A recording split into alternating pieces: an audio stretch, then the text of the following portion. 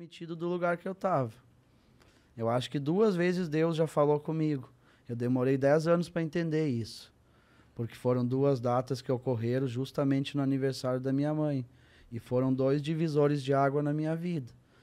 Porque depois que eu saí da prisão, eu me tornei uma pessoa muito melhor, né? Você ficou muito tempo? Fiquei um ano. Conheci o Central de Porto Alegre, sofri bastante lá dentro, fui passei uns perrengues bem brabo lá dentro, até eu aprender como funciona o ritmo dos guri, né? É difícil, é, é sufocante. Tá todo mundo, ninguém tá de bem com a vida lá dentro. E eu, como eu cheguei num cara muito ingênuo, né, meu? Nunca tive maldade com ninguém. Eu cheguei lá dentro e encontrei aquilo, daí foi um pouco assustador para mim. Mas foi o divisor de águas para mim começar a reagir e voltar a viver. Lá dentro eu engordei, cortei meu cabelo, comecei a me alimentar de novo.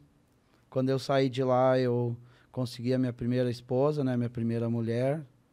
Fiquei quatro anos com ela, ela tinha o mesmo problema que eu. Uh, só que ela não quis mudar. Eu fiquei quatro anos lutando por ela, mas não deu muito certo. Os sete primeiros meses foi um mar de rosas, né, meu? Eu e ela era só alegria, só felicidade. Ela estava bem, ela estava bem há mais tempo que eu, estava forte, estava gorda. Eu estava criando os filhos dela como se fossem meus filhos. Uma criança de sete e um de nove, Cícero e a Isabelle. Criei como meus filhos, só que depois de sete meses, um dia ela foi comprar pão e não voltou mais. Ela voltou 26 dias depois para casa. Caralho! 10 quilos mais magra. A gente encontrou ela no meio do mato. Caralho! Que a gente foi atrás, a gente tentou ajudar. E eu fui lutando. Eu tive umas cinco internações com a Luciana, minha primeira mulher. Que eu lutei por ela, levava comida na, na, na clínica, levava fruta, levava doce. Daí trazia ela de volta para casa, ela ficava bem um tempo dava cinco, seis meses, ela caía de novo. Até que um dia eu perdi as forças e depois de quatro anos eu caí daí.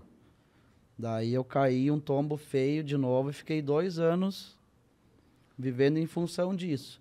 Nessa época eu comecei a trabalhar no caminhão do lixo, que deu uma levantada, eu comecei a reagir, mobilei toda a minha casa, fiquei forte de novo, fiquei gordo, mas volta e meio recaía de novo, e as minhas recaídas eram bem pesadas.